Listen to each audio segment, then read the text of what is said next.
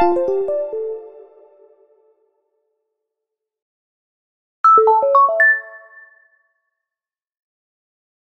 Мы продолжаем с вами наш первый теоретический модуль. Подробнее познакомимся с модернизационной парадигмой и разберем современные трактовки демократии, ее модели и индексы. Модернизационная социологическая макротеория была сформулирована в середине 20-го столетия во время распада европейских колониальных империй и образования большого количества так называемых новых государств в Азии, Африке и Латинской Америке выделяют четыре этапа становления модернизационной парадигмы. Первый этап – вторая половина 50-х годов, первая половина 60-х. Это период рождения и быстрого роста модернизационных исследований в классической версии. Оформляется э, так называемая линеарная, то есть модель э, социальной трансформации по западному образцу. Этой модели присущ универсализм и представление о линейно-поступательном характере общественного развития от традиционности к современности. Отметим три эшелона модернизации Эйзенштадта. Первый эшелон – большинство государств Западной Европы, а также страны, основанные европейскими поселенцами. Страны второго эшелона – это отстающие, так как внутренние предпосылки модернизации вызревали нелегко и в разное время. Как правило, к ним причисляют Центральную и Восточную Европу, Грецию, Португалию, Испанию, отчасти Пруссию, а также Турцию, Японию и Россию. В 20 э, веке добавились передовые страны Латинской Америки – Аргентина, Бразилия, Мексика, Уругвай. Третий эшелон модернизации – это бывшие колониальные и зависимые государства Африки и Азии, которых внутренних предпосылок капитализма вообще не было. Вхождение этой части э, мира в современность происходит исключительно под внешним давлением и сопровождается острыми конфликтами, провалами, откатами назад. Второй этап с конца 60-х по 70-е годы включительно. Модернизационная перспектива подверглась критике со стороны конкурирующих теорий микросистемного анализа Валерстайна и неомарксизма. Так как выяснилось, что линейно-поступательная модель модернизации не отражает реальных преобразований в Латинской Америке, Юго-Восточной Азии и других регионах мира, которые осуществляли переход от традиционности к современности. Третий этап охватывал 1980-е годы. А, это посткритический период возрождения модернизационных исследований. Оформляется парциальная, то есть частичная модель. Один из представителей – Леви. Модернизация рассматривается как длительный переход от относительно немодернизированных к относительно модернизированным обществам. Четвертый этап – конец 80-х-90-е годы. Становление неомодернизационного и постмодернизационного анализа. Такие исследователи, как Дирякьян, Хантингтон и другие, признают возможность собственных оригинальных путей развития.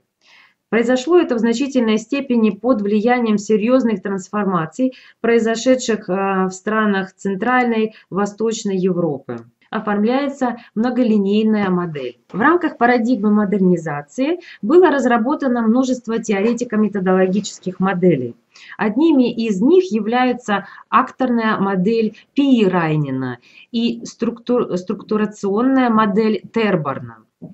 Акторная модель модернизации Пи Райнин, автор, основана на концепции о фундаментальном сходстве двух революций – французской конца XVIII века и российской конца XX века, то есть распад СССР и ликвидация советского социализма. Совместно используется э, модернизационная перспектива и деятельностный то есть акторный подход в целях объяснения перехода от плановой к рыночной экономике в постсоветской России. Модель ориентирована на исследование преимущественно микросоциальных ситуаций и деятельностных практик э, не учитывают структурные конструкции, рассматривая их лишь в качестве некоторых условий или импликаций социальных действий. Структурационная модель Терборна основана на структурационном подходе, который представляет собой попытку синтеза структуралистской и э, деятельностной перспектив.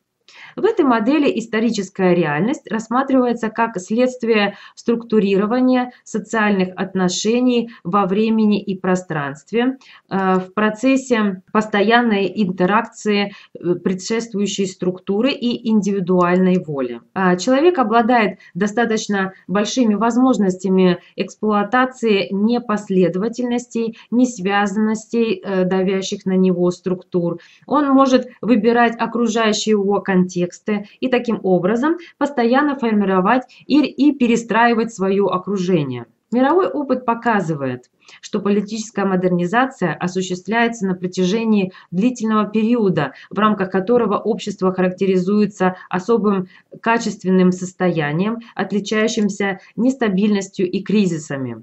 Общей причиной этих кризисов является характерное для переходного состояния общества противоречие между новыми универсальными стандартами и старыми традиционными ценностями, сосуществование новых демократических политических институтов с прежними, рост неудовлетворенности населения. Профессор Мичиганского университета Инглхарт высказал идею, что связь между социально-экономическим развитием и культурными предпосылками демократии образуют наиболее общую рамку рассмотрения процесса создания и поддержания демократии.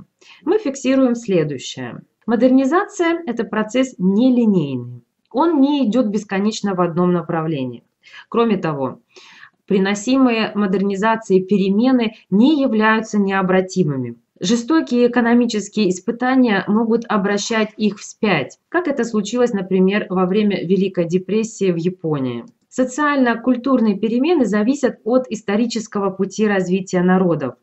Ценностные установки становятся результатом взаимодействия движущих сил модернизации и влияния традиции. Этнические и религиозные факторы на деле оказываются весьма живучими, ведь протестантское, конфуцианское и исламское культурные наследия имеют э, долговременный эффект, продолжая оказывать влияние на развитие соответствующих обществ даже тогда, когда прямое влияние религиозных институтов незначительно значительно. Одновременно правы и те теоретики, считающие, что подъем индустриального общества сопряжен с чередой культурных перемен, ведущих к разрыву с традиционными системами ценностей. Модернизация, вопреки ранним этноцентристским версиям этой теории, не является вестернизацией. Модернизация не ведет автоматически к демократии хотя в долгосрочной перспективе она способствует социальным и культурным трансформациям, которые значительно ее приближают. Так что модернизация влечет культурные сдвиги, а они способствуют автономии личности и обусловливают возникновение и успешное функционирование демократических институтов. К условиям, способствующим переходу к демократии и дальнейшему ее существованию, относятся сформировавшаяся национальная идентичность и государственное единство. Граждане осознают совместную государственную идентичность, а в обществе нет ни раскола, ни стремления к объединению с другими сообществами. К экономическим предпосылкам демократии обычно относят продвинутую индустриализацию, распространенную урбанизацию, высокую грамотность, определенное благосостояние, достаточное развитие средств массовой информации. По статистике в мире нет стран, относящихся к категории демократических, доход на душу населения в которых был бы ниже 2000 долларов в год. Тем не менее, экономическое развитие – это предпосылка, но не гарантия демократии. Существуют недемократические режимы с высоким уровнем экономики и солидными доходами граждан. Скорее всего, для демократии важным является формирование массового среднего класса в качестве социальной базы поддержки демократии. Исследования приводят к выводу, что экономическое развитие ведет к демократии в той мере, в какой вызывает определенные структурные в особенности рост сектора знаний, и культурные, прежде всего рост ценности самовыражения, изменения. Культурные изменения – основное условие появления и выживания демократии. Если культурная почва не подготовлена, происходит подмена понятий. К примеру, демократический бум 1987 по 1995 годов привел к быстрому распространению электоральных демократий. Однако многие молодые демократии изначально стали страдать от коррупции, они не способны обеспечить верховенство закона. Исследователи стали выделять неполноценность выборных, гибридных, нелиберальных и прочих форм лжедемократии, при которых волеизъявление народа игнорируется политическими элитами, не оказывая значительного влияния на решения властей. Таким образом, следует э, различать эффективную и неэффективную демократию. Эффективная демократия определяется не только объемом гражданских и политических прав, закрепленных на бумаге, но степенью уважения этих прав властями. Кстати, существование прав на бумаге измеряется ежегодными рейтингами Freedom Freedom House. Если в стране проходят свободные выборы, эта организация считает ее свободной, присваивая высокий балл по соответствующей шкале. В итоге э, новоявленные демократии Восточной Европы имеют тот же рейтинг, что и давно устоявшиеся демократии западной. Существует еще и рейтинг эффективности управления, составляемый Всемирным банком, который отражает, насколько демократические институты в действительности эффективны. Э, перемножая показатели этих двух рейтингов, получаем индикатор эффективности демократии. Электоральная демократия бесполезна, если не укоренена в инфраструктуру, обеспечивающую подотчетность элит гражданам. Наиболее важное условие эффективной демократии – это высокий уровень когнитивной мобилизации и широкая приверженность ценности самовыражения. При этом ценность самовыражения предопределяет демократию. Итак, модернизация ведет к всепроникающим изменениям в ценностных ориентациях людей, способствуя свободе выбора и самовыражению. В политической сфере это заставляет людей стремиться к установлению демократических институтов, а с развитием общества, знания, люди становятся все более грамотными, чтобы требовать эффективной демократии. Результат зависит от соотношения сил между элитой и обществом, но в общем и целом успешность модернизации повышает вероятность установления демократии. Политическая модернизация прежде всего означала суверенность политических систем и конституционность их устройства. Последовательная суверенизация и конституционализация создавали предпосылки для демократизации. Суверенитет предполагает, что на четко определенной границами территории возникает относительно однородный режим властных отношений. С одной стороны выделяется государство, закрепляющее за собой монополию на использование насилия, а с другой – гражданское общество, утверждающее ненасильственную договорную самоорганизацию в соответствии с нормами естественного права и прав человека. Основной закон, Конституция, стоит выше государства и гражданского общества. Гражданское общество – это совокупность множества межличностных отношений, семейных, социальных, экономических, культурных, религиозных ассоциаций и структур, которые развиваются в данном сообществе вне рамок государства и без его непосредственного вмешательства. При этом нельзя смешивать гражданское общество с политическим и глобальным обществом. Политическое общество – это комплекс институтов, в том числе государства и иные коллективы.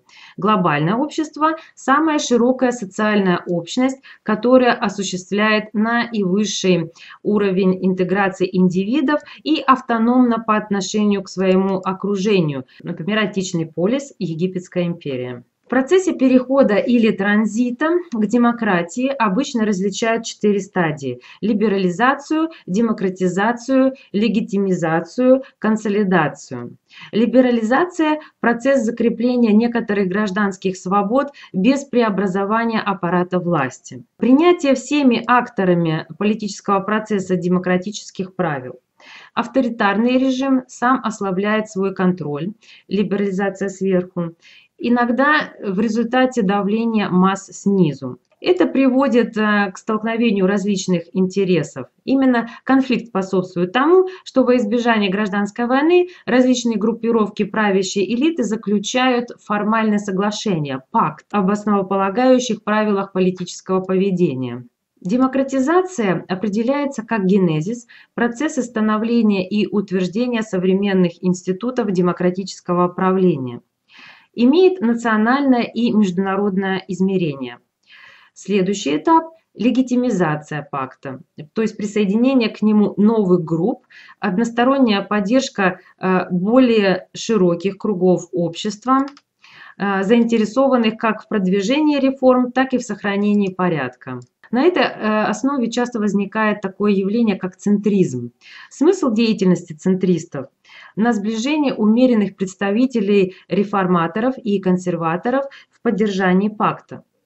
Закрепить продвижение э, демократизации, связанное с основополагающими выборами, возможно только путем повторения выборов по тем же правилам и в конституционно установленные сроки несколько раз. После этого можно говорить о вступлении демократизации в завершающую фазу и о консолидации уже э, современной демократии. До достижения этой стадии ни один режим не может считаться демократическим, но является переходным, транзитным. Согласно популярной в политологии теории волн демократизации, Э, полиархии формировались в три этапа. Причем на каждом из них этот процесс затрагивал разные группы стран, а за расширением ареала демократии следовал откат демократизации. Хантингтон в книге «Третья волна. Демократизация в конце XX века» дает следующую датировку. Первая волна стала нарастать э, со второй половины XIX века и достигла пика незадолго после завершения Первой мировой войны. Вторая волна была стимулирована победой союзников во Второй мировой войне и процессами деколонизации до 1960-х годов. Третья волна началась в середине 70-х годов с падения авторитарных режимов в Португалии, Испании и Греции. Далее она распространилась на часть Латинской Америки, Бразилия, Аргентина, Эквадор, Гватемала, Панама, Чили и так далее, Восточную Азию, бывший СССР, страны Центральной и Восточной Европы. Так что к концу второго тысячелетия ареал распространения демократии охватывает почти все промышленно развитое северное полушарие вместе с целым рядом стран, включая Индию. Большинство проживающих в демократических странах согласны с тем, что главные позиции в демократии занимают право и идея справедливости как высшей степени э, совместимости различных интересов. Основной критерий справедливости – максимум свободы для, возможно, большего числа индивидов. Цель демократии – достижение предельного разнообразия, плюрализма, привлечение наивысшего количества людей э, к социальной жизни и распределению общественного продукта. Демократия не может быть без согласия большинства с главными принципами устройства данного общества, но нет демократии и без конфликта интересов. Выделим общие принципы демократии. Конституционализм, легитимность, свободные выборы управителей, мажоритарность правления большинства, уважение к оппозиции, конституционные гарантии индивидуальных прав и свобод. Существуют следующие трактовки демократии. Либеральные, приоритет интересов личности и э, отделение их от государственных интересов, социалистические, полное политическое и экономическое равенство, общее владение собственностью, безгосударственный строй, консервативные, популистские, коммунистические и анархистские. Весьма популярны плюралистические концепции, в рамках которых политика рассматривается как конфликт групп интересов в поле их политической борьбы, где решения принимаются на основе компромисса ради удовлетворения максимального объема интересов. И элитарные концепции, подразумевающие, что политическим процессом руководит элита, несущая всю ответственность. Участие масс ограничено выборами, соревнование ведется между потенциальными лидерами. Не менее популярны идеи представительной демократии и прямой демократии, когда управляемые реально воздействуют на избрание власти и политический курс правительства. Выделяется два типа. Выбор посредством системы партий или прямым всеобщим голосованием. Полиархия, в которой определенность процедур при неопределенности результатов. Модели консоциальной демократии предполагают, что власть осуществляется э, большой коалицией политических лидеров. Пропорциональность политического представительства, взаимное вето, автономность сегментов – Существуют модели охранительной, развивающей, партиципаторной демократии, то есть демократии прямого участия. Неокорпоративизм как особенность интерпретации политической действительности э, развитых демократий имеет в виду э, предоставление группе лиц имеющие общие интересы, привилегированного и законного доступа к процессам формирования политического курса. Рыночная теория демократии, приверженцы которой считают, что человек с помощью рациональной деятельности в состоянии добиться максимальной личной пользы. Делегативная демократия подразумевает то, что победа на президентских выборах дает победителю право управлять страной по своему усмотрению, при этом он ограничен лишь обстоятельствами существующих властных отношений и определенным Конституцией сроком пребывания у власти. К концу XX века возрос интерес к различным националистическим и цивилизационным версиям демократии. Наличие и степень развитости демократических институтов может служить критерием признания государства международным сообществом. Степень э, развитости, зрелости демократии и демократических институтов определяется на основе индексов и рейтингов. Количественные измерения, наиболее признанные международным сообществом, это проекты Polity, Freedom House, исследовательский проект Ванханена и индекс трансформации Бертельсмана. Проекты Полити призваны выявлять тенденции трансформации политических режимов в отдельных странах мира. Исследуются независимые государства с населением от 500 тысяч человек, около 167 стран.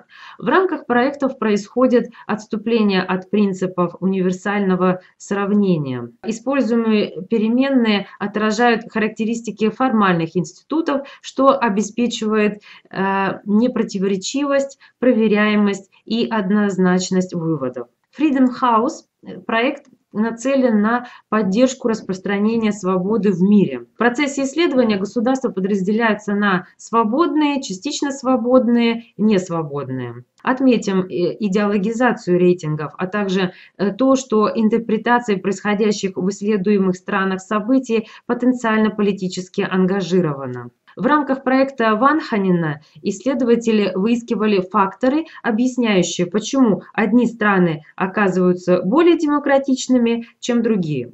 При этом уровень развития демократии объяснялся одним фактором – распределением ресурсов в обществе. Индекс трансформации Бертельсмана э, – сравнительный анализ уровня развития демократии и рыночной экономики, а также качества политического управления в 119 странах мира. Результатом данного проекта являются два обновляемых рейтинга сочетания качественных оценок с количественными показателями развития государств, находящихся в стадии трансформации. Изучается динамика за последние пять лет и делается это все для практических рекомендаций. Спасибо за внимание. Теперь мы готовы перейти к конкретному анализу политических систем незападного мира.